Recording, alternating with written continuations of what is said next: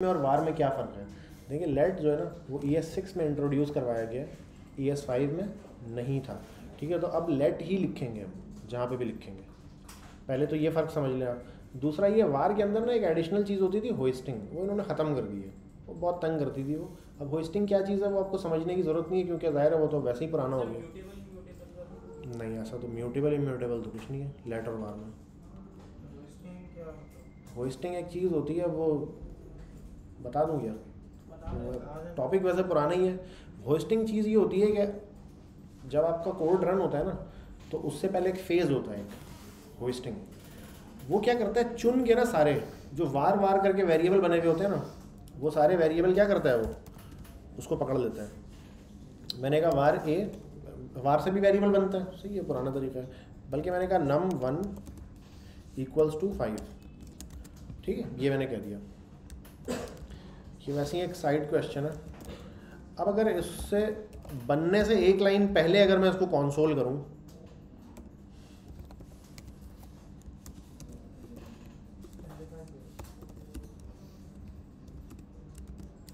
बनने से एक लाइन पहले उसको मैं कॉन्सोल करूँ तो क्या आना चाहिए? असूलन तो उसको एरर देना चाहिए कि भाई वो तो अभी क्योंकि लाइन बाई लाइन रीड हो रहा है ना। तो अभी तो वो पहुँचा ही नहीं है वहाँ पे, उस नाम से तो कोई वेरिएबल मौजूद ही नहीं है। तो इसको असूलन एरर देना चाहिए नॉट डिफाइंड ठीक है? अनकॉच एरर नॉट डिफाइंड लेकिन अब देखते हैं ये करता क्या है इसके साथ। अनडिफाइंड बोला इसने। इसने बोला वेरिएबल मौजूद है, उसमें वैल्यू नहीं है कोई। अच्छा अगर यही चीज़ मैं लेट करके बनाऊँगा ना, यही चीज़ मैं लेट करके बनाऊँगा तो क्या होगा? ये एरर दे देगा कि भाई नॉट डिफाइन है ये तो। अनिशियलाइज है ये। तो ये असल में एक प्रॉब्लम थी होस्टिंग प्रॉब्लम तो क्या थी? एक फीचर के तौर पर डाला था, लेकिन ये तंग बहुत करता था। अभी हम फ़ंक्शन पढ़ेंगे ना जब तो ये होस्टिंग को थोड़ा और मजीद डिटेल में हम देख लेंगे, क्योंकि फ़ंक्शन पे भी होस्टिंग परफॉर्म होती थी, उससे भी ख़त्म किया गया इसको। ठीक है? ई एस फाइव में होस्टिंग हुआ करती थी। तो वो इसमें होती है लाइट में ख़त्म कर दिया तो सही है, ख़त्म हो गया। अच्छा इसके अलावा एक होता है कॉन्स्ट लेट के अलावा कॉन्स्ट भी होता है। कॉन्स्ट पे जो आप एक बार वेरिएबल बना देते हैं ना, वो बाद में चेंज नहीं होता। ये फ़र्क है बस। ठीक है? तो लेट और कॉन्स्ट ही है अभी एस सिक्स के अंदर नया वाला। तो हम चूँकि नई वाली जावा स्क्रिप्ट पढ़ रहे हैं ई एस सिक्स तो हमें पुराने वालों को देखने की ज़रूरत नहीं है कि पुराने वाले क्या थे। अच्छा तो अब हम पढ़ने लगे हैं लूप स्टेटमेंट ठीक है? लेकिन लूप स्टेटमेंट को पढ़ने से पहले हमें एक चीज़ पढ़नी पड़ेगी एरे ठीक है? हमने बुलियन नंबर और स्ट्रिंग पढ़ लिया है, हमने एरे अभी तक नहीं पढ़ा। तो एरे पढ़ लेते हैं फिर थोड़ा सा फिर लूप पढ़ लेंगे साथ साथ। देखेंगे आज की क्लास में हम कितना कर पाते हैं।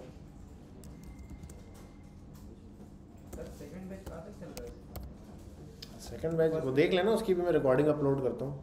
देख लेना उसका कोड भी पब्लिक है आप लोगों के साथ ही है वो भी। आ, क्या है भाई? एरे।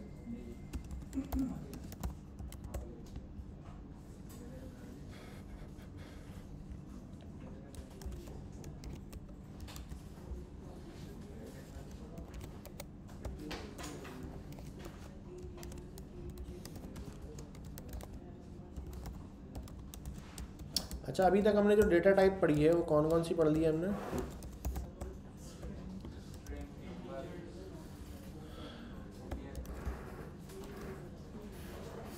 अच्छा मेमोरी में कैसे सेव होता है वो डिस्कशन हम कर चुके हैं ना। मेमोरी में डेटा कैसे सेव होता है? हाँ वो बड़ा इंपॉर्टेंट रहेगा अभी इस, इस जगह पे। अच्छा। तो अब हम क्या करते हैं? एक यहाँ पे एक लड़का बैठा हो तो वो कहाँ गया? चला गया? कहाँ गया आए नहीं, वायर। ये बीच से क्यों चला गया उठ के? ये कहीं और बैठा हुआ है? चला गया। पता नहीं यार, चलो खैर। मुझे एक चेहरा कम नज़र आया ना तो मैंने मैंने कहा, पूछ लूँ, पता नहीं। अच्छा अब ये एरे को बनाने का तरीका क्या है? सबसे पहले तो ये देखना पड़ेगा हमें। एरे को बनाने का तरीका ये है कि सबसे पहले लेट जो कि किसी भी वेरिएबल को बनाने के लिए हम लेट लगाते हैं, उसके बाद एक नाम ठीक है? मैंने कहा कि भाई नम या कुछ और अच्छा सा नाम लिखते हैं। हाँ फ्रेंड्स ठीक है? अच्छा इसमें एस लाजमी लगेगा। एरे का जो नाम होता है उसके अंदर एस लगाते हैं आप। सिर्फ़ फ्रेंड नहीं होगा एस होगा इसमें। कन्वेंशन है। डेवलपर्स ऐसा करते हैं तो आपको भी करना चाहिए। अगर नहीं करेंगे तो कोड फिर भी आपका सही चलेगा लेकिन लोगों को समझ में नहीं आएगा। आपकी कोडिंग प्रैक्टिस को जो है बेस्ट प्रैक्टिस ये है कि एस लगा हो जैसे बुलियन के साथ लगा होता है इज़ ओपन इज़ शुरू में होता है। तो समझ में आ जाता है, देखते ही बुलियन किसी वेरिएबल के नाम के साथ एस लगा होगा तो देखते ही समझ जाना चाहिए आपको ये एरे है। अच्छा इसका मतलब क्या हुआ? कि जो एरे नहीं है, उसमें एस नहीं लगाना चाहिए। ठीक है? जो एरे नहीं है, उसमें एस नहीं लगाना चाहिए, क्योंकि वो एस देखते ही बंदा समझेगा एरे है, उस पर लूप चलाएगा लूप चलेगा नहीं। ठीक है? तो दूसरा कोई फैलो बंदा आपका देखेगा, जब कोड इंस्पेक्शन होगी आपकी तो वो इन चीज़ों को बड़ा देखा जाता है। और इससे सब लोगों को आसानी रहती है। इक्वल्स टू करके स्क्वायर ब्रैकेट ओपन क्लोज ठीक है? Square bracket two comma three comma one comma four comma two comma comma डाल के जितने नंबर लिखना चाहूँ मैं लिख दूँ। ये बन गया आपका एरे ठीक है? एक नॉर्मल वेरिएबल जो होता था, जो हमने नंबर का वेरिएबल पढ़ा था, उसमें सेव होता था सिर्फ़ एक नंबर एक वक्त में सिर्फ़ एक नंबर सेव होता था। एक से ज़्यादा नहीं कर सकते थे आप। लेकिन एरे में आप क्या कर सकते हैं? कॉमा कॉमा डाल के जितने नंबर चाहे आप सेव कर दें। इस तरह के वेरिएबल को हम कलेक्टिव डेटा टाइप भी कहते हैं। सही है, कुछ केसेस में उसको कलेक्टिव डेटा टाइप लिखा जाता है कि ऐसे डेटा टाइप जिसमें एक से ज़्यादा वैल्यू एक वक्त में स्टोर हो जाती है। ठीक है? अच्छा। आसान है, मुश्किल तो नहीं है। अच्छा एरे में अभी तो मैंने नंबर रखा है ना। नंबर के अलावा भी आप इसमें स्ट्रिंग और बुलियन वगैरह जो भी डेटा टाइप अभी तक पढ़ चुके हैं आप वो सारी डेटा टाइप भी इसमें रखी जा सकती है। मिसाल के तौर पे मैं आया, मैंने कहा, भाई, इसमें बीच में डालना चाह रहा हूँ एक कार टू है कार है थ्री है, फिर एक मैंने फॉल्स डाल दिया बुलियन ये भी रख सकता हूँ इसमें मैं। और क्या पढ़ा है हमने डेटा टाइप में? बस, यही पढ़ा सही है? अच्छा। एरे खुद भी तो एक डेटा टाइप है। तो मैं अगर एक इंडेक्स पे एक और एरे रखवा दूँ तो भी हो जाएगा। सही है, चलेगा ये भी। लेकिन अभी हम ये बात नहीं करते। अभी बस अभी ये है फ़िलहाल। अभी एरे के अंदर एरे अभी फ़िलहाल रखवा सकते हैं, अभी नहीं रखवाया हमने। अच्छा हाँ भाई, कहाँ थे तुम लोग? अच्छा और भी हैं क्या ऊपर लोग अभी? अच्छा। मैं यहाँ देख रहा हूँ, पता नहीं कुछ चेहरे कम होते जा रहे हैं। हैं? कर देते हैं। मिसाल के तौर पे क्या रीज़न हो तो?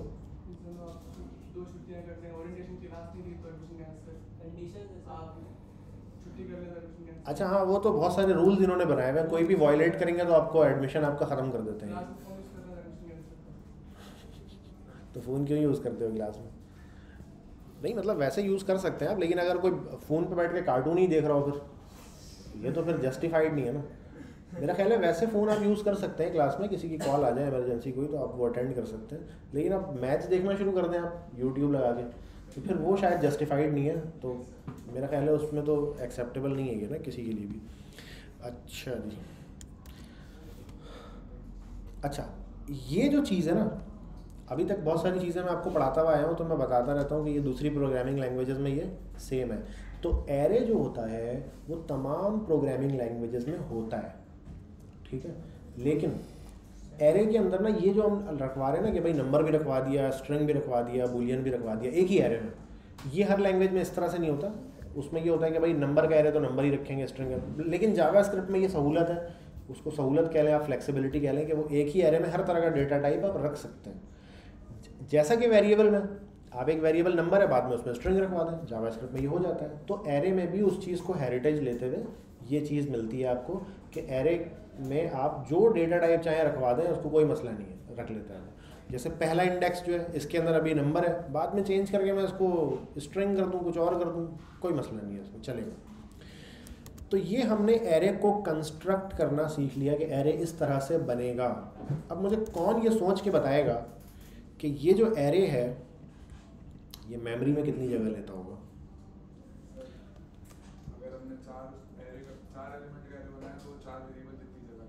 चार एलिमेंट का एरे बनाया तो चार वेरिएबल जितनी जगह वो मेमोरी में लेगा। बिल्कुल सही बताया यार, क्या बात है आपकी। अच्छा तो कितनी जगह ले रहा है चार? ये एरे कितनी जगह ले रहा है? अब मेरा सवाल चेंज हो गया। थर्टी टू बाइट अच्छा एक दोस्त कह रहे हैं थर्टी टू बाइट बाकी लोग भी अपना ख्याल बता सकते हैं?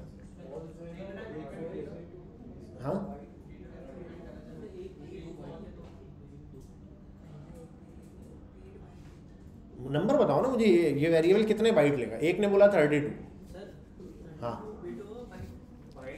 तुम बताओ तो वही तो मैं पूछ रहा हूँ। थर्टी टू बिट या बाइट तुम्हारे ख्याल में। सर आपने उस दिन बताया था कि स्क्रिप्ट जो है वो एट एट बिट का होता है। हाँ। ठीक है? और जावा स्क्रिप्ट का एक वेरिएबल एक बाइट लेता है। का एक वेरिएबल एक बाइट लेता है ऐसा तो मैंने कभी भी नहीं बोला। दो बाइट भी नहीं बोला मैंने। तो एट बाइट तो कौन सा वाला एट बाइट लेता है?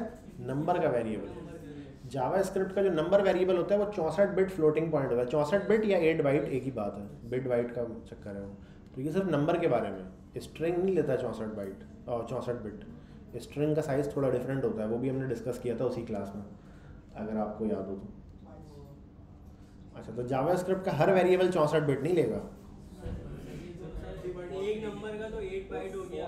बुलियन तो एक बिट एक बाइट लेता बुलियन एक बिट लेता। है एक बिट लेता है। एक बिट या एक बाइट है एक बाइट आठ बिट क्यों लेगा? बुलियन को एक ही की ज़रूरत है। थियोरेटिकली एक बिट लेना चाहिए। लेता वैसे थोड़ा ज़्यादा है मैंने उसी वक्त एक्सप्लेन कर दिया था कि एक्चुअल में वो थोड़ा थोड़ा ज़्यादा ले रहा होता है लेकिन लेना उसको थियोरेटिकल ज़रूरत एक की है है। एक बिट की ज़रूरत है बिट तो हम अभी वही थियोरेटिकल वाला जो बताया वही पूछ रहा हूँ मैं कि कितना लेना चाहिए उसको ट्वेंटी बाइट्स तुम हाँ भाई एक कह रहा है ट्वेंटी एक ने कहा था थर्टी टू अभी थर्टी टू पे कायम वो चेंज हो गया। चेंज हो गया कितना हो गया। हो तो हो। हाँ।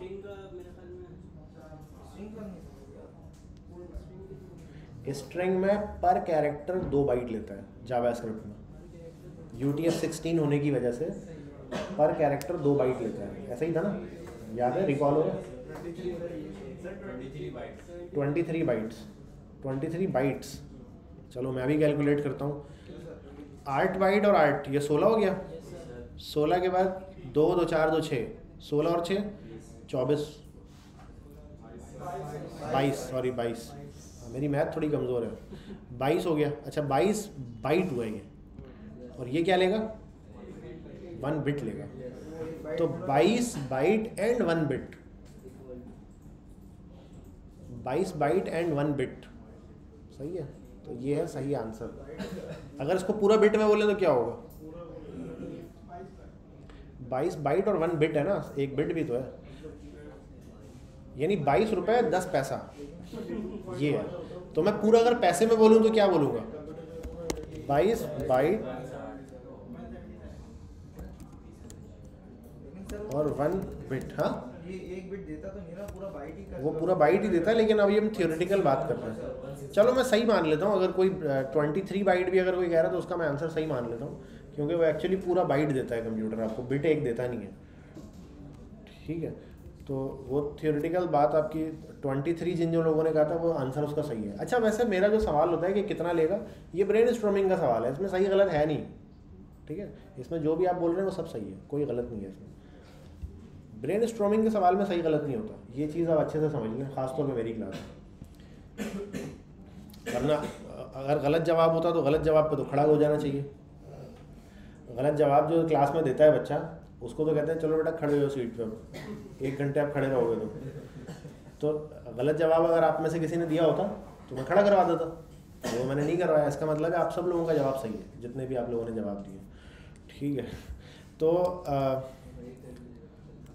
अब हम ज़रा देख लेते हैं कि कंस्ट्रक्ट तो हो गया मेमोरी में किस तरह जगह ले ली, वो भी थोड़ा सा रिकॉल हो गया हमारा लगे हाथों। अब इसको चेंज कैसे करेंगे? या सॉरी रीड कैसे करेंगे? मुझे कंसोल पे प्रिंट करवाना है। एक अगर सिंपल वेरिएबल होता, उसमें तो एक ही वैल्यू होती है। मैं फ्रेंड लिख देता, वो प्रिंट हो जाता। लेकिन इसमें मुझे तो अब इतनी सारी वैल्यू है। अगर मैं यहाँ पे फ्रेंड्स को प्रिंट करवाऊँगा तो फिर क्या प्रिंट होगा? सब प्रिंट हो जाएँगे ये। सही है, सब हो जाएँगे। लेकिन मुझे सिर्फ़ ये टू को प्रिंट करवाना है, मुझे टू चाहिए सिर्फ़। तो यहाँ पे मैं स्क्वायर ब्रैकेट ओपन क्लोज और ज़ीरो ये जो एरे होता है, ये इंडेक्स बेस होता है, ठीक है? ज़ीरो बेस इंडेक्सेस होते हैं इसके।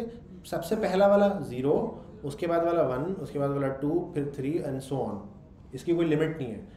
जावा स्क्रिप्ट के अंदर जो एरे का जो साइज़ होता है, कि कितनी, कितना बड़ा एरे हो सकता है, इसकी कोई लिमिट नहीं है। ठीक है, चार वैल्यू भी चार सौ भी हो सकती है, चार हज़ार भी हो सकती है और चार लाख भी हो सकती है। ठीक है? अच्छा फिर लेकिन अल्टीमेटली कोई तो लिमिट होगी। क्या लिमिट है? चार लाख या क्या, चार करोड़? और आगे जाएगा, कितना आगे जाएगा? कोई तो लिमिट होगी। जब जितनी आपकी रैम मेमोरी के अंदर जगह है ना, उतनी इसकी लिमिट है। अगर फोर जी है एट जी है, सोलह जी है, चौंसठ जी है, जितनी आपकी रैम है। ठीक है? यानी चौंसठ जी तक के तो कंप्यूटर पर्सनल यूज़र्स में अभी अवेलेबल हो चुके हैं। तो चौंसठ जी तक इमेजिन कर लें कि इसकी लिमिट है। चौंसठ जी में कितना बड़ा एरे आ जाएगा? इसने, इस एरे ने तो बाईस बाइट लिए हैं सिर्फ़। ठीक है? बाईस बाइट लिए हैं। अभी सिक्सटी फोर गीगा बाइट की बात हो रही है। तो आप इमेजिन कर लेंगे सिक्सटी फोर गीगा बाइट में कितना बड़ा एरे सेव हो सकता है। तो वो उसकी लिमिट है वेल ठीक है, ये भी मैं थियोरेटिकल बात बता रहा हूँ, क्योंकि असली में ऐसा नहीं होता। असली में ऐसा होता है कि आपका जो कंप्यूटर होता है ना, उसने ब्राउज़र को कुछ खास जगह दी हुई होती है। वो कहता है, भाई ब्राउज़र आप, कुछ भी हो जाए, आपको इससे ज़्यादा नहीं मिलेगा। यानी पूरा चौंसठ जी थोड़ी दे देगा वो ब्राउज़र को। ऑपरेटिंग सिस्टम बोलता है, बस भाई, इतना ही है, ठंडे हो जाओ अभी तो उससे ज़्यादा होता है ना तो वहीं क्रैश हो जाता है वो। तो वो ऑपरेटिंग सिस्टम पर डिपेंड भी करता है कि वो पूरा चौंसठ जी देता नहीं है। वो थोड़ा यानी लिमिट में ही देता है। मतलब कोई एक ऐप ऐसी आई, उसने पूरी रैम खा गया वो और पूरा सिस्टम क्रैश हो गया आपका। यही होगा ना फिर। तो इस, इसको रोकने के लिए ना ऑपरेटिंग सिस्टम के पास एक एक एक सेक्शन होता है ऑपरेटिंग सिस्टम का that is called memory management तो मेमोरी मैनेजमेंट का जो सेक्शन होता है ना ऑपरेटिंग सिस्टम वो डिसाइड करता है कि किसको कितना देना है। अगर कोई एक सॉफ्टवेयर है, वो बार बार मेमोरी मांग रहा है इतनी ज़्यादा क्वांटिटी में तो क्या उसको देना है कि नहीं देना? तो वो डिसाइड करता है। ठीक है, उसकी कुछ लिमिटेशंस होती हैं। ऐसा भी नहीं होगा कि चौंसठ जी बी रैम है तो पूरे ही पे आप भर दो अपना। तो कुछ लिमिट्स होती हैं।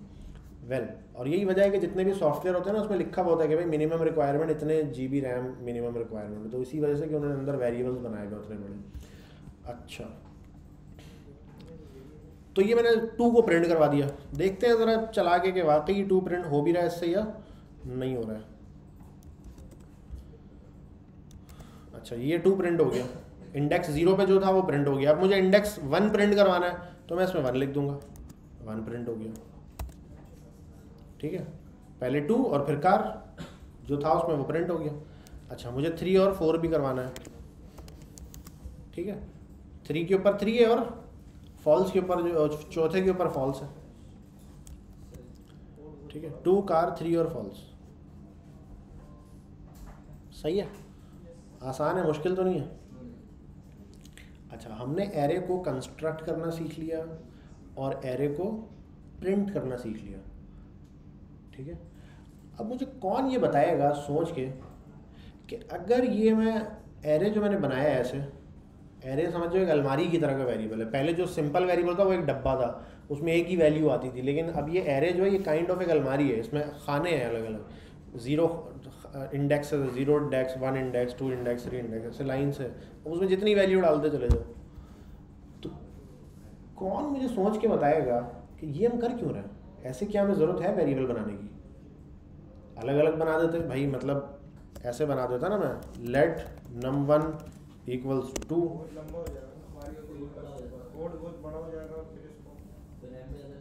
नहीं इसमें भी तो हो ही रहा ना बड़ा। मैं फ्रेंड पूरा लिख रहा हूँ वन लिख रहा हूँ साथ में। तो मैं num one num two num three लिख देता। ये तो तो है अगर अपन ऐसे मंगाएँगे तो फिर लंबा हाँ सर, इस- यूजुअली हम लोग बनाते हैं सेम डेटा टाइप के वेरिएबल का सेम जिसमें डेटा टाइप रखनी होती है हाँ फिर हम अ, सर, इसको loop चला चलाने के लिए मतलब loop किसी चलाएगा। से किसी का वो करना है सम करना है एक एरे को दूसरे एरे में सम करना तो हम फॉर लूप के अप्लाई कर सकते हैं अच्छा नहीं अगर मैं ऐसे नम वन नम टू बनाऊँ तो भी तो ये काम सारे हो सकते हैं। सर वो हम लोग फॉर लूप से एक लाइन में कर सकते हैं। फॉर लूप नहीं लगेगा उसके ऊपर। ठीक है लूपिंग स्टेटमेंट नहीं लगेगी। अभी हम थोड़ी देर बाद ये देखेंगे। अभी तो हम ये नहीं देख रहे। अभी हम फॉर लूप के, के लिए ही तो हम ये पढ़ रहे हैं। ये जो हम बना रहे हैं ना एरे टाइप का जो वेरिएबल बना रहे हैं कि एक ही है उसमें मुख्तलिफ़ खाने में मुख्तलिफ़ वैल्यूज़ हैं। इससे हमें बेनिफिट ये होता है वैसे तो ये मुश्किल है। नॉर्मल वेरिएबल बनाते अलग अलग होता है सिंपल प्रिंट होता है सिंपल बन, बनता। आसान रहता लेकिन उस पर ना प्रोग्रामेटिकली आइट्रेट नहीं कर पाते हम। अगर मुझे प्रोग्रामेटिकली आइट्रेट करना है ना कि अच्छा भाई इस वेरे में जितना भी कुछ है ना, उस सबको प्रिंट करवा दो। या इस एरे में जितनी भी वैल्यूज़ हैं आपस में उसको प्लस कर दो। कोई भी ऐसा काम जो प्रोग्रामेटिकली करना चाह रहा हूँ मैं। मिसाल के तौर पर मुझे एक टेम्परेचर सेंसर से टेम्परेचर मिल रहा है। कंटिन्यूसली मिलता ही जा रहा है। दिन में मुझे छत्तीस हज़ार वैल्यूज़ मिलती हैं। ठीक है, जितने सेकंड है उतनी वैल्यूज़ मिलती हैं। हर सेकंड एक वैल्यू मिल रही है। अब मैं चाहता हूँ वो छत्तीस के छत्तीस हज़ार पे मैं क्या करूँ? जितने, अब मुझे नहीं पता एग्जैक्टली छत्तीस है भी कि नहीं है वो। पता नहीं कितने होंगे। हो सकता है थोड़े कम, हो सकता है थोड़े ज़्यादा हो। उस पूरे पे मैं चाहता हूँ कि आइटरेट करें और उस पूरे का एवरेज निकालूँ मैं। तो ये एरे के बगैर फिर आइटरेट करना पॉसिबल नहीं है। मैं अगर ऐसे ऐसे वेरिएबल बनाऊँगा तो क्या मैं हर एक सेकंड बाद वेरिएबल बनाऊँगा नया? चलते हुए कोड में नया वेरिएबल नहीं बना सकते अब। वो तो वेरिएबल कोड लिखते हुए बनाएँगे ना। चलते हुए प्रोग्राम में कैसे बनाएँगे? कि मतलब एक वैल्यू आई तो एक वेरिएबल बनेगा। ऐसा नहीं होगा। असल में एक एरे बना हुआ होगा, पहले से खाली होगा वो। वैल्यू आती जाएगी, उसमें पुश होती जाएगी उस एरे में। ठीक है? और वो एरे बड़ा होता चला जाएगा, बड़ा होता चला जाएगा। और जब भी मुझे एवरेज निकालना होगा, मैं उसका एवरेज निकाल लूँगा। फॉर लूप एक एक स्टेटमेंट होता है, अभी हमने पढ़ा नहीं है वो। पढ़ेंगे अभी, उससे इस एरे पे आइटरेट करेंगे, पूरा घूमेंगे। आइटरेट करने का मतलब होता है एक एक इंडेक्सेस पे जाएँगे। और जाके उसकी वैल्यू को देखेंगे कि वो क्या है, और उसके साथ कुछ ना कुछ ऑपरेशन करेंगे। तो हम ये इसलिए बना रहे हैं। ये फॉर लूप जैसे ही हम अभी अगला टॉपिक पढ़ेंगे ना तो ये ज़्यादा मेक सेंस हो जाएगा। अभी थोड़ा नॉनसेंस लग रहा होगा, लेकिन बेयर विथ मी तो ये हमने इसको रीड करना सीख लिया, इसको प्रिंट करवाना सीख लिया। अब इसको चेंज कैसे करवाएँगे? चेंज करवाना भी बहुत आसान है इसको। मिसाल के तौर पर मुझे इंडेक्स नंबर ज़ीरो को चेंज करवाना है। तो मैं लिखूँगा फ्रेंड्स का इंडेक्स ज़ीरो ऐसे तो प्रिंट होता था। इक्वल टू करके कोई नई वैल्यू थ्री ठीक है? उसके बाद जब मैं इसको प्रिंट करवाऊँगा तो क्या होगा? ये मुझे वो वाली वैल्यू प्रिंट करके देगा जो चेंज होने के बाद जो वैल्यू है। ठीक है? चारों को मैंने पहले भी करवा दिया, चारों को मैंने इसके बाद भी प्रिंट करवा दिया। देखते हैं अब क्या प्रिंट करता है ये। ठीक है? तो शुरू की जो चार वैल्यूज़ हैं सॉरी शुरू की जो, यार अच्छा एक मिनट ये नीचे वाले को बंद करता हूँ मैं। कितने? चार कौन कौनसोल है ना? एक, दो, तीन, चार। अच्छा एक दो तीन चार। ये शुरू के चार कौनसोल ये आ गए। उसमें टू है पहली वैल्यू दूसरे में पहली वैल्यू थ्री है। मिसाल के तौर पे मैं क्या करता हूँ? मैं वन टू थ्री फोर चारों में क्या रखवा देता हूँ? ज़ीरो ज़ीरो चारों मैंने ज़ीरो रखवा दिया। तो अब जब मैं चारों को प्रिंट करूँगा तो क्या प्रिंट होगा? चारों ज़ीरो हो चुके होंगे। Okay okay okay one two भी करना था।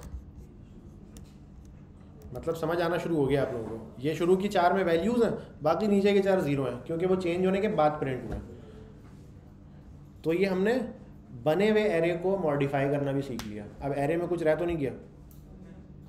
आसान था, मुश्किल तो नहीं था। ठीक है। अच्छा अब हम आ जाते हैं फॉर लूप की तरफ़, सीधा। अच्छा एक इसमें बात रह गई बंद एक बात रह गई, वो मुझे अभी याद आ गई।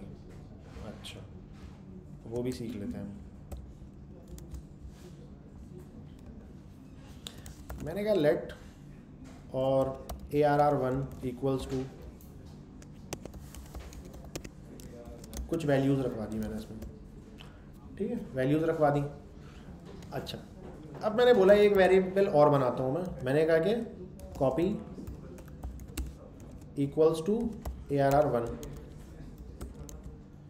ठीक है? पहले मैंने ए आर आर बनाया और उस ए को उठा के एक दूसरे वेरिएबल जिसका नाम कॉपी था, उसमें डाल दिया। अच्छा अब मैंने क्या किया? मैंने कहा कॉपी का कॉपी में भी सेम चीज़ आ गई। यानी कॉपी में जो वेरिएबल मौजूद है एरे का, उसके ज़ीरो इंडेक्स पे क्या है? टू है। तो मैंने कहा कि कॉपी का जो ज़ीरो इंडेक्स है ना, उस पर क्या रखवा दो? उस पर रखवा दो कार चेंज कर दिया वैल्यू को। ठीक है? अब मैं कॉपी को जब प्रिंट करूँगा तो उसका पहला इंडेक्स क्या हो चुका होगा? चेंज हो चुका होगा, और उसमें कार आ चुका होगा। मैंने कहा कॉपी का जो है ना, क्या कर दो आप? ज़ीरो इंडेक्स को प्रिंट करवाओ दो, जो मैंने चेंज भी कर दिया और प्रिंट करवा देता हूँ उसको कार हो गया, ठीक है? अभी तक सब कुछ ठीक ठाक चल रहा है। लेकिन जब मैं ए आर आर वन का ज़ीरो इंडेक्स प्रिंट करवाता हूँ, तब इसमें क्या आना चाहिए? टू आना चाहिए। सब लोग एग्री हैं इस पर कार आएगा, क्यों? अच्छा करके देख लेते हैं। अच्छा दोनों पे कार हो गया मैंने चेंज हालाँकि मैंने सिर्फ़ कॉपी में किया है। ओरिजिनल वेरिएबल में मैंने कोई चेंज नहीं किया। लेकिन ओरिजिनल वेरिएबल में ऑटोमेटिक चेंज हो गया वो। अब मुझे दो बातें बताओ। नंबर एक ब्रेन स्ट्रोमिंग का सवाल है। नंबर एक, ऐसा हुआ क्यों? इन द फ़र्स्ट प्लेस और अगर मुझे इसको अवॉइड करना है, यानी मैं तो ज़ाहिर है कॉपी कर रहा हूँ तो दो इंडिपेंडेंट वेरिएबल होने चाहिए कि एक को चेंज करूँ, दूसरे में चेंज आ रहा है, ये क्या बकवास है? तो मैं उसको अवॉइड कैसे करूँ? हो क्यों रहा है और अवॉइड कैसे करूँ? नंबर दो। हाँ? इज़ इक्वल टू के बाद वन हटा दूँ, ये वाले में। ए आर आर वन हटा दूँ। फिर क्या लिखूँ? कुछ भी नहीं।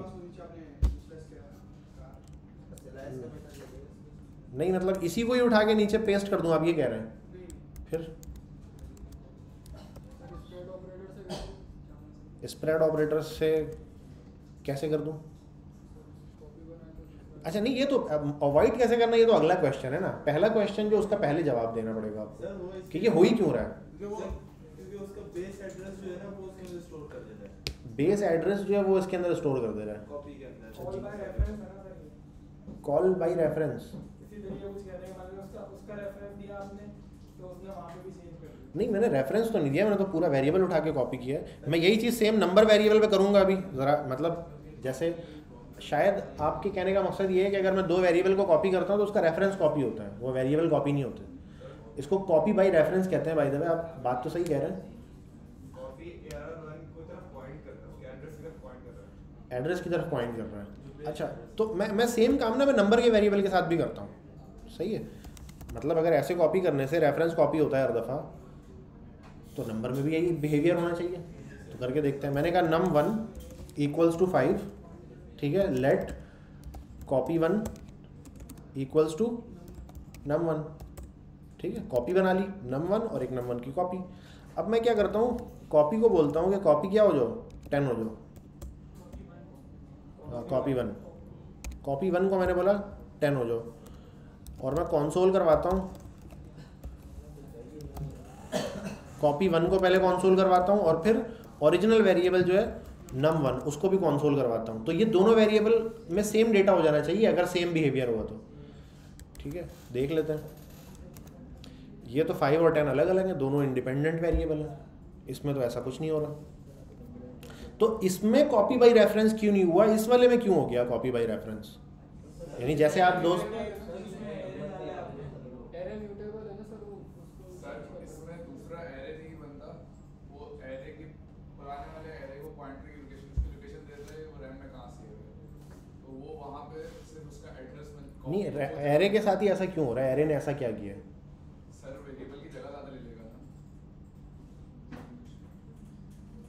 नहीं एरे के साथ वो तो नंबर भी तो जगह ले रहा है ना नंबर भी तो चौंसठ बिट ले रहा है। तो उसके साथ ऐसा क्यों नहीं कर रही है? है पचास है तो हाँ। वेरिएबल पचास वेरिएबल जितनी जगह लेगा बिल्कुल सही। है नहीं तो मैं मैं बोल रहा हूँ ना कॉपी करो। मैं चाह रहा हूँ कॉपी करो तो कर देना चाहिए उसको। नहीं मतलब बिल्कुल सेम ऑपरेटर है ना। देखो ऑपरेटर तो अलग नहीं है। तो लेकिन बिहेवियर क्यों अलग है? इसके साथ ही क्यों हो रहा है? सर आप यहाँ पे कोई नंबर दे के मतलब? कार की जगह कोई नहीं नंबर में भी वही होगा। मैंने नंबर कह दिया कि भाई टू है ना तो मैंने कहा फाइव हो जाओ। फाइव हो जाओ है ना? अच्छा ऊपर वाले को मैं रोक देता हूँ क्योंकि ये तो हो गया ना प्रूफ ठीक है। तो ये अभी भी वही बिहेवियर है उसका। अरे ये फाइव टेन अभी भी क्यों आ रहा है? अच्छा सेव नहीं किया मैंने उसको। ठीक है फाइव फाइव दोनों में आ गया। कार लिखा था, वो भी दोनों में आ रहा था। फाइव फाइव भी दोनों में ही आ रहा है। ऊपर वाला कोड तो रोक दिया मैंने। अच्छा। पहली बात तो ये आप सब लोगों ने जवाब बिल्कुल सही दिया है कि ये क्या हो रहा है? ये कॉपी बाई ये इस पॉइंट पे जो कॉपी हो रहा है ना एरे उठ के दूसरे में आ रहा है, ये कॉपी बाई रेफरेंस हो रहा है। सही है वैल्यूज़ मेमोरी के अंदर वैल्यूज़ डुप्लीकेट नहीं हो रही हैं। मेमोरी में एक ही एरे है और उसी का एड्रेस एक में था, अभी दूसरे में भी चला गया। तो मतलब मेमोरी में चीज़ एक है और दो अलग अलग वेरिएबल सेम जगह को पॉइंट कर रहे हैं। हमें पता नहीं चलता, लेकिन एक्चुअल में नंबर वेरिएबल में भी हो यही रहा होता है कि वेरिएबल के अंदर क्या होता है? असल में एड्रेस होता है, एक मेमोरी की किसी लोकेशन को पॉइंट कर रहा होता है। लेकिन जब मैं नंबर को एक नंबर वेरिएबल को दूसरे नंबर वेरिएबल में कॉपी करता हूँ तो वो कॉपी बाई वैल्यू होता है। ठीक है? और जब मैं एरे को करता हूँ तो वो कॉपी बाई रेफरेंस होता है। यानी कि जब मैं एक नंबर को कॉपी करूँगा दूसरे वेरिएबल में तो मेमोरी में भी डुप्लीकेट होगा। लेकिन जब मैं एरे को जब कॉपी करूँगा तो वो मेमोरी में डुप्लीकेट नहीं होगा। वो जस्ट अपना रेफरेंस शेयर कर लेगा उसके साथ। बोलेगा, भाई अच्छा जैसे ए आर आर वन बोलेगा अच्छा भाई कॉपी तुम्हें भी चाहिए। तो ये एड्रेस है जहाँ पे सेव है। तो तुम भी एड्रेस रख लो अपने पास। तो दोनों बंदे जब फ़ोन मिलाएँगे तो एक ही बंदे को फ़ोन मिलेगा। यानी मेमोरी में एक ही जगह अब ऐसा होता क्यों है? ये एक सवाल है। ये तो हमने बिहेवियर समझ लिया कि बिहेवियर अभी फ़िलहाल मार्केट में ये चल रहा है। ये हो क्यों रहा है? ऐसा क्यों किया इसने? ऐसा इस वजह से होता है कि देखो वेरिएबल की ना दो क्लासिफिकेशन और दो टाइप होती है। नंबर एक होते हैं नेटिव वेरिएबल्स या प्रिमिटिव वेरिएबल भी कहते हैं, जो किस, जो प्रोग्रामिंग लैंग्वेज के अपने सगे वेरिएबल होते हैं। सही है? एक होते हैं सौतेले। एरे है सौतेला। इसलिए हो रहा है इसके साथ ये। ठीक है? अच्छा क्या मतलब है? प्रिमिटिव ना होने का क्या मतलब है? कि भाई ये वेरिएबल प्रिमिटिव नहीं है, इसका क्या मतलब है? इसका मतलब ये है कि एरे असल में ना कोई डेटा टाइप है नहीं, ये कंस्ट्रक्ट है। एरे असल में क्या है? कोई डेटा टाइप है नहीं, ये कंस्ट्रक्ट है। आपको दिख रहा है कि एरे असल में अंदर एरे है नहीं है ये कुछ और है अंदर। वो असल में वही वेरिएबल को जोड़ जाड़ के कुछ किया हुआ है, कहानी फिट की हुई है। जो पहले से है ना, दो तीन वेरिएबल जो है नंबर स्ट्रिंग ऑफ़ बुलियन उसी को जोड़ जाड़ के कुछ कहानी पीछे की हुई है कि अब एक्चुअल कोई वेरिएबल ये है नहीं। ये कंस्ट्रक्ट है और इसको जो बनाया गया ना, वो इसी तरह बनाया गया। अच्छा और ये ऐसे एक ट्रेडिशन है, एक ट्रेडिशन चल रहा है कि जो नॉन प्रिमिटिव वेरिएबल्स होते हैं, जो सौतेले होते हैं, यानी जो जो जो प्रोग्रामिंग लैंग्वेज के अपने नहीं होते उस, वो जब कॉपी होते हैं ना तो वो इस तरह से कॉपी होता है। एक ये ट्रेडिशन चला आ रहा है तो जावा स्क्रिप्ट में भी उस ट्रेडिशन को फॉलो किया। ये जावा वालों ने शुरू किया था। जावा में ये पहली दफ़ा हुआ था। तो उसी से इन्होंने इंस्पिरेशन ली, फिर सी शार्प वगैरह में भी इसी तरह होता है कि भाई अगर वो कोई क्लास का बना हुआ ऑब्जेक्ट होता है, सही है? उसमें तो हमें दिख भी रहा होता है ना कि हमारे ही क्लास से बना हुआ ऑब्जेक्ट है कि असली ऑब्जेक्ट नहीं है ये? ठीक है? वो तो उसको बोलता है, भाई, आपने बनाया ना तो इसके साथ हम ये बर्ताव करेंगे, सौतेलों वाला। तो इस वजह से ये ऐसा हो रहा है। तो हमने नंबर एक देखा कि हो क्यों रहा है? और बिहेवियर है क्या? उसको भी हमने समझ लिया। नंबर तीन, अगर इसको हमें जस्ट इन केस कभी अगर अवॉइड करना पड़े, ज़रूरी नहीं आपको हमेशा अवॉइड करना पड़े। कभी अगर अवॉइड करना पड़े तो कैसे करेंगे? हाँ। अच्छा इसको अवॉइड करने का कोई तरीका नहीं है। सही है? इसको अवॉइड करने का एक ही तरीका है कि आप ना उसमें से देख के ऐसे यहाँ पे लिख दें हाथ से। थ्री वन और टू यही एक तरीका है वाहिद। नहीं, सही बता रहा हूँ उसको और कोई तरीका नहीं है। लेकिन ये काम ना प्रोग्रामेटिकली भी कर सकता हूँ मैं, देख के लिखने वाला। वो कैसे होगा? मैं क्या करूँगा? एम टी आर ए बना दूँगा एक। और एम टी आर ए बनाने के बाद मैं बोलूँगा कि किसी दूसरे वेरिएबल से उठा के ना वैल्यू खोल के रख दो यहाँ पर वो मैं कहता हूँ स्प्रेड ऑपरेटर मैं तीन डॉट लगाऊँगा A R R A R R one मैं बोलूँगा कि ये मेरा जो एरे है, ये एक नया एरे है एमटी है इसके अंदर आप क्या करो, किसी दूसरे वेरिएबल को खोल के लाके यहाँ पे रख दो आप। That is called spread operator introduced in E S six ठीक है? ई एस सिक्स से पहले इसको कॉन्कैट करके भी करते थे स्लाइस सब स्प्लाइस करके। तरीके थे इसके दो चार ना अलग अलग ठीक है? अच्छा ये जो प्रोसेस है, ये क्या कहलाता है? कॉपी नहीं कहलाता ये। ये कहलाता है क्लोनिंग सही है? ठीक है? ये क्लोन किया मैंने, ये कॉपी नहीं किया। अगर ये वाला तरीका आप करते हैं, इसको हम हमेशा क्या कहेंगे, यानी ज़ाहिर है प्रोग्रामर जब आपस में बात करते हैं तो उनकी टर्मिनोलॉजी होती है ना। मैं अगर किसी प्रोग्रामर को कह रहा कॉपी करो तो कॉपी का मतलब ये नहीं हो रहा है। ये इसकी बात नहीं हो रही फिर। अगर इसकी बात करो तो मैं वो क्लोन करो। इसको क्लोन करो। ठीक है? जैसे आप गिट हब से जब रिपोजिटरी अपनी डाउनलोड करते हैं तो उसको डाउनलोड क्यों नहीं कहते? उसको क्लोन कहते हैं। क्लोन का मतलब क्या है कि एक इंडिपेंडेंट कॉपी आप अपने पास ला रहे हैं तो उस क्लोनिंग का एक मतलब है, जो आपने आज समझ लिया कि क्या है। ठीक है? तो ये टर्मिनोलॉजी है एक क्लोनिंग वैसे तो हो तो कॉपी ही रहा है, जो सही मानों में, लेकिन प्रोग्रामर आप क्या क्या बोलेंगे इसको? क्लोन करना बोलेंगे कि भाई एरे क्लोन हो रहा है। अच्छा एरे को क्लोन करने का ये जो तरीका है, ये सबसे जदीद और सबसे लेटेस्ट तरीका है, और इसको इसलिए भी यूज़ करें कि ऑब्जेक्ट में भी ये सेम रहता है। एरे और ऑब्जेक्ट में दोनों में चल जाता है ये तरीका, ठीक है? वेल आप जाके जब गूगल पे लिखेंगे एरे क्लोनिंग और जावा स्क्रिप्ट तो आपको कोई पाँच छः तरीके नज़र आएँगे। इसको यही काम करने के, जो ई एस फाइव और ई एस सिक्स सब मिला मिला के ना, हैं कोई। ये देख रहे हो? हम जो यूज़ कर रहे हैं, वो ये वाला तरीका यूज़ कर रहे हैं। इसके अलावा ऑब्जेक्ट डॉट वैल्यूज़ करके भी कर सकते हैं एरे डॉट कॉन्कैट करके भी कर सकते हैं एरे डॉट स्लाइस करके भी कर सकते हैं, ठीक है? जेसन पार्स जेसन स्ट्रिंगिफाई ये भी कर सकते हैं। एस ऑब्जेक्ट डॉट असाइन है, ये सारे तरीके हैं बहरहाल। तो लेकिन हम इसमें से ये वाला कर रहे हैं जो सबसे सिंपल है समझने के अतबार से, और ई एस सिक्स में दोनों पे सेम है ये। ऑब्जेक्ट को भी हमें क्लोन करना पड़ता है, अभी ऑब्जेक्ट हमने पढ़ा नहीं है, अभी पढ़ेंगे हम ऑब्जेक्ट तो उसमें भी ये सेम तरीका है। तो इसलिए हमने ये वाला पढ़ा है यहाँ पे क्लास में। ठीक है? इसका मैं लिंक भी लगा देता हूँ आपके यहाँ पे कोड में नीचे। ठीक है? जहाँ पे क्लोनिंग लिखा है ना मैंने, वहाँ पे मैंने इसका लिंक भी अटैच कर दिया कि आप अगर इस क्वेश्चन को जो भी बंदे ने पूछा था, उसको अगर पढ़ना चाहें मज़ीद डिटेल में तो लिंक पे आप जाके पढ़ लीजिएगा। जी। हाँ ऐसे भी हो सकता है, बिल्कुल हो सकता है। मिसाल के तौर पर आप ये कह रहे हैं, इसको मैंने रोक दिया। आप जो कह रहे हैं कि let copy equals to A R one index zero ये ऐसे किया मैंने, और मैंने बोला ए आर आर का index zero comma A R R का इंडेक्स वन बिल्कुल ऐसे भी क्लोन हो जाएगा, ऐसे भी करने से क्लोन होगा। लेकिन यही काम मैंने स्प्रेड ऑपरेटर के ज़रिए किया है। स्प्रेड ऑपरेटर क्या करता है? स्प्रेड ऑपरेटर क्या करता है कि किसी भी एरे को उठाएगा और उस एरे की वैल्यूज़ को ना खोल के वहाँ पे ला के रख देता है। खोल के मतलब रखने का मतलब ये है कि वो एरे की फॉर्म में नहीं रखेगा उसको। एरे में से वैल्यू को पिक करके ला के रखेगा समझ आई ये बात? मतलब इसको असल में करेगा ये, कुछ इस तरह से करेगा। अगर मैं यहाँ पे आपको बताऊँ, ये एम टी एरे था ना मेरा, इसके बीच में मैंने ये स्प्रेड किया है। तो स्प्रेड में क्या करेगा? ये उस एरे में से पहले टू को उठाएगा comma three comma one comma two ये ये काम करेगा। मतलब उसकी अंदर की वैल्यू को लाके खोल के रख देगा इसको। एरे की फॉर्म में नहीं रख एरे अगर रखता डायरेक्ट एरे रखता तो फिर इसका एक ही इंडेक्स बनता जिसमें एक एरे मौजूद है।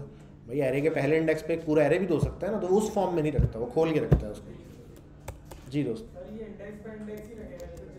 ही जैसे इंडेक्स पे था उधर ही रखेगा। अच्छा मैं ये भी कर सकता हूँ बाई द वे मिसाल के तौर पे मैं चाहता हूँ कि यहाँ पे पहले ना एक लिखा हुआ है कार कॉमा सही है बस कॉमा और उसके बाद स्प्रेड कर दिया मैंने, दूसरे में चला के तो अब जो ये बनेगा ना नया वेरिएबल वो शुरू में उसके होगा, कार होगा, बस होगा, उसके बाद जो बची हुई वैल्यूज़ होंगी ना, उसमें ये सेम सीक्वेंस में ये आएगा। अच्छा मैं चाहता हूँ इसके बाद भी कुछ है मैं इसके बाद भी रखवा देता हूँ। मैंने इसके बाद लिखवा देता हूँ मैं कि ई ओ एफ़ ठीक है?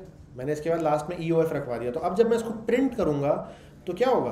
लास्ट में ई ओ एफ़ भी आएगा। ये इस जगह पे जो है वो इसी सीक्वेंस से प्रिंट हो जाएगा जहाँ से जैसे ऊपर है, इस जगह पे। और बीच में ई ओ एफ़ और ई ओ एफ़ लास्ट में जो है वो शो हो जाएगा। देख लेते हैं ज़रा एक दफ़ा इसको प्रिंट करवा के भी। काफ़ी हमने कॉम्प्लिकेटेड कर दिया है। अरे ये तो मैंने एक को प्रिंट किया ना, पूरा प्रिंट करता हूँ मैं। कॉपी को भी पूरा प्रिंट करता हूँ ए आर आर वन को भी पूरा प्रिंट करता हूँ। ठीक है? ये देखो। सही है? क्लियर है बिल्कुल? Crystal clear? अच्छे से समझ आ गया। और किसी का कोई सवाल इसमें? है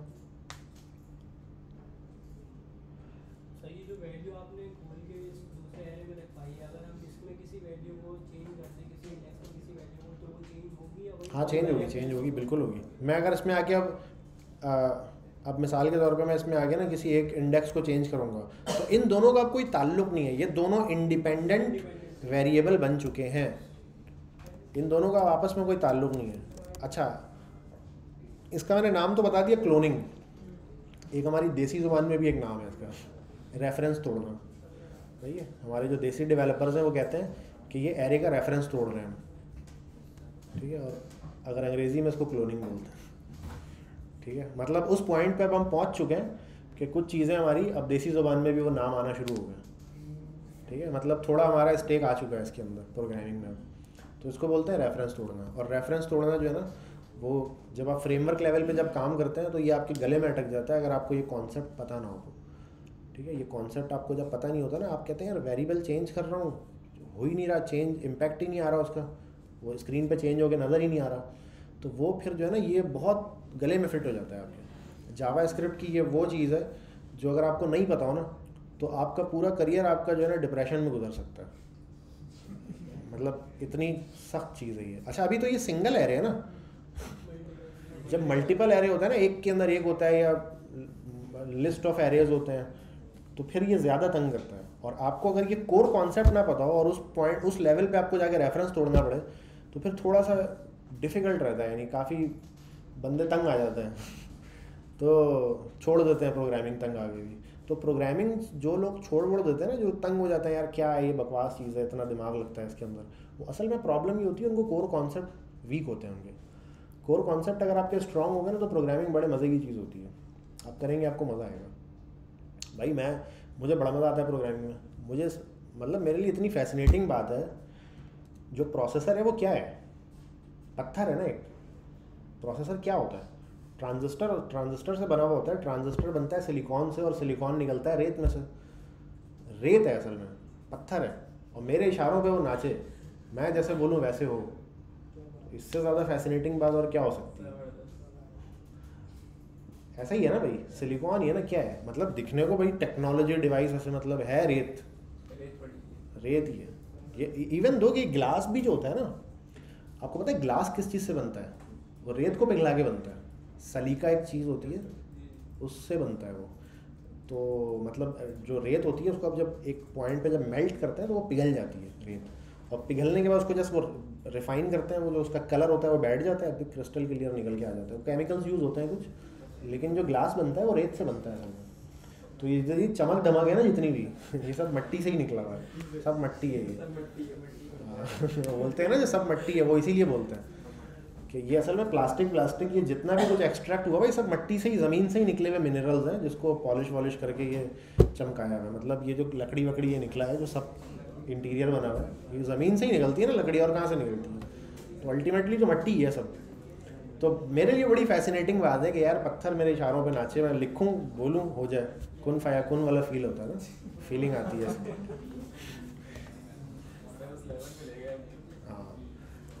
अच्छा तो ये हमने एरे का टॉपिक ना कंप्लीट कर लिया।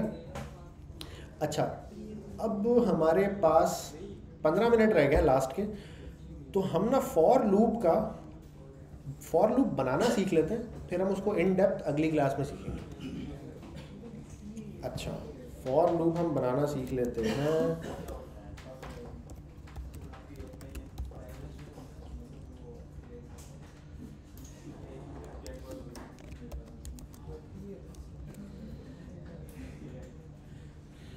अच्छा फॉर लूप बनाने के लिए हमें क्या करना पड़ेगा?